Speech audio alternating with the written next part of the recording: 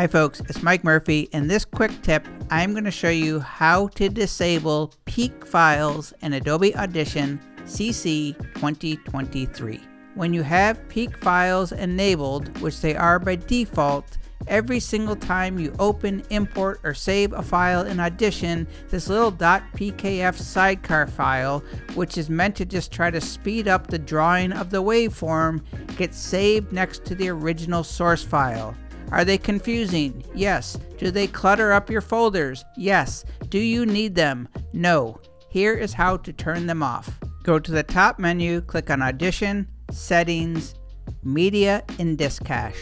Go to the very bottom and uncheck Save Peak Files, then click OK. Peak files will no longer be created and it is okay to delete old peak files. They will not affect anything. My name is Mike Murphy. Cheers.